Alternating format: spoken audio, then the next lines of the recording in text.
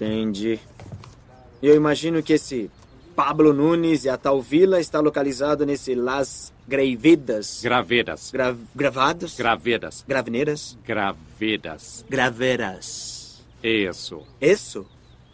Isso. Acho que você falou um E fechado. Isso. E é lá que ele tá? Não. Hum.